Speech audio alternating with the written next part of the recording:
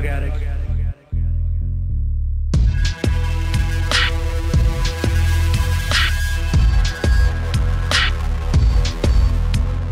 I'm very proud of him.